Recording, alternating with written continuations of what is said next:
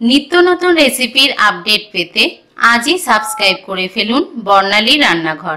আর press করে দিন bell icon তাহলে আমার চ্যানেলের কোনো ভিডিও আপনারা মিস করে যাবেন না। নমস্কার বন্ধুরা, আমি বর্ণালী। বর্ণালী রান্নাঘরে সবাইকে স্বাগত জানিয়ে শুরু করছি আজকের পর্ব।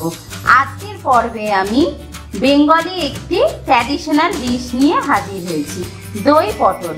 আমরা প্রায় প্রচুর অনুষ্ঠানে আমরা দই পটল খেয়ে থাকি। আজকের আমি দেখাচ্ছি নিরামিষ দই পটলের রেসিপি চলুন তাহলে এই সুন্দর রেসিপিটি আমরা দেখে নিই। দই পটল বানানোর জন্য দশটা বড় সাইজের পটল নিয়েছি, দেখুন।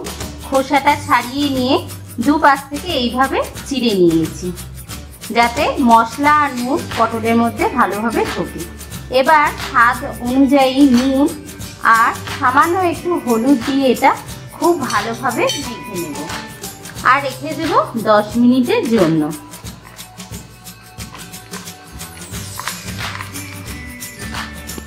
খুব ভালোভাবে নুন হলুদটা আমি এর মধ্যে মাখিয়ে দিয়েছি।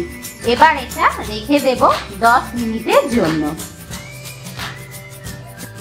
এবার একটা মশলা তৈরি করব। একটা বাটি নিয়েছি, দিয়ে দিচ্ছি এক চা চামচ আদা বাটা। স্বাদ অনুযায়ী নুন দিলাম। পটলে তো অলরেডি আমরা নুন মাখিয়ে রেখেছি, শুধুমাত্র গ্রেভির জন্য নুনটা দিচ্ছি। মশলার মধ্যে দিচ্ছি এক চা চামচ জিরে গুঁড়ো, এক চা চামচ ধনে গুঁড়ো, এক চা চামচ হলুদ গুঁড়ো। এখানে আমি এক চা চামচ কাশ্মীরি রেড চিলি পাউডার আমি ইউজ করছি। তবে বেশি ঝাল যদি খেতে চান, তাহলে লাল লঙ্কার গুঁড়ো দিতে পারেন। এবার অল্প একটু জল দিয়ে একটা ঘন মিশ্রণ আমরা তৈরি করে রেখে দেব।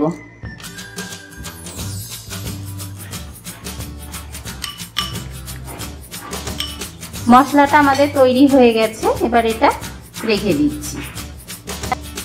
এর সঙ্গে আর যা যা লাগছে সেগুলি হলো এক চা চামচ গরম মশলা গুঁড়ো লাগছে, এক চা চামচ ঘি। ফোড়নের জন্য নিয়েছি দুটো তেজপাতা, একটা আস্ত শুকনো লঙ্কা, একটা এলাচ, একটা লবঙ্গ, এক ইঞ্চি দারচিনি টুকরো। একশো গ্রাম টক দই আমি ভালোভাবে ফেটিয়ে নিয়েছি। আর নুন তো আমি মশলা তৈরির সময় মিশিয়ে দিয়েছিলাম, তাই নুন লাগছে না। সর্ষের তেলে আমি রান্নাটা করব। আপনারা চাইলে সাদা তেলেও করতে পারেন, তবে অনুষ্ঠান বাড়িতে কিন্তু সর্ষের তেলেই করা হয়। তাই অনুষ্ঠান বাড়ির মতো টেস্ট পেতে গেলে সর্ষের তেলেই করতে হবে। আর লাগছে একটু এক চা চামচের মতো চিনি লাগছে। কড়ায় হাফ কাপ সর্ষের তেল গরম করেছি। এবার যে ম্যারিনেট করা পটল নিয়েছিলাম, নুন, হলুদ মাখিয়ে নিয়েছিলাম, সেটা দিয়ে এবার লাল করে ভেজে তুলে নেব।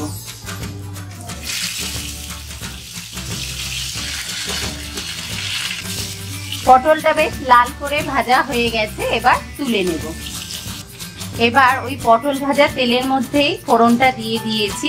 দুটো তেজপাতা, একটা এলাচ, একটা লবঙ্গ, একটা শুকনো লঙ্কা আর এক ইঞ্চি দারচিনি টুকরো। ফোড়নটা তিরিশ সেকেন্ডের মতো ভেজে নেব। ফোড়নটা ভাজা হয়ে গেছে, খুব সুন্দর সুগন্ধ বেরিয়েছে। এবার এই তেলের মধ্যে দিয়ে দিচ্ছি যে মশলার পেস্টটা আমরা তৈরি করেছিলাম, সেটা দিয়ে দিচ্ছি। এক মিনিট এটা নাড়াচাড়া করার পর আমরা এর মধ্যে পটলটা অ্যাড করব। মশলাটা এক মিনিট কষানোর পর এর মধ্যে পটলটা দিয়ে দিচ্ছি। পটলটাকে মিডিয়াম ফ্লেমে আমরা এক মিনিট খুব ভালোভাবে এটা কষিয়ে নেব, যাতে এর মধ্যে খুব সুন্দরভাবে মশলাগুলো ঢুকে যায়। পটলটা খুব ভালোভাবে কষা হয়ে গেছে। এবার ফ্লেমটা একেবারেই লো করে দেব। কেননা এর মধ্যে এখন টক দই অ্যাড করব। হাই ফ্লেমে যদি এর মধ্যে টক দই অ্যাড করেন, তাহলে দইটা ফেটে যাবে আর পুরো রান্নাটাই ফেলে দিতে হবে।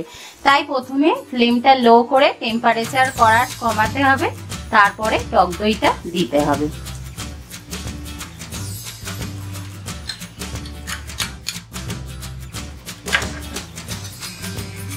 টক দইটা দিয়ে দিলাম।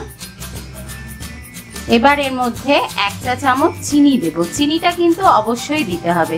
কেননা আমরা সবাই জানি টক দই যথেষ্ট টক হয়। তাই এর সঙ্গে যদি একটু চিনি না দেওয়া হয়, পুরো রান্নার টেস্টটাই কিন্তু খারাপ হয়ে যাবে।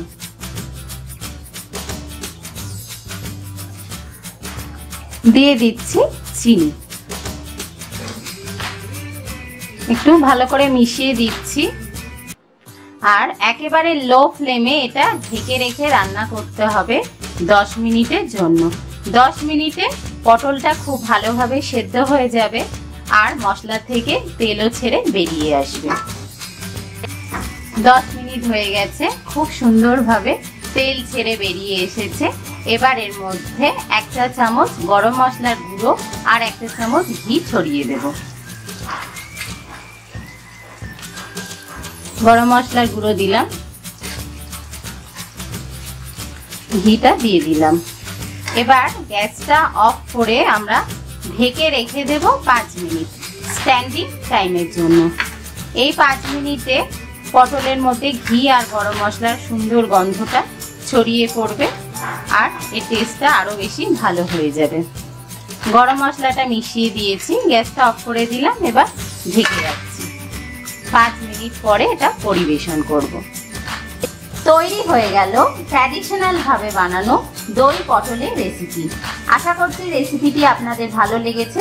ভালো লাগলে আপনাদের ফ্রেন্ডস আর ফ্যামিলির সাথে রেসিপিটি শেয়ার করুন।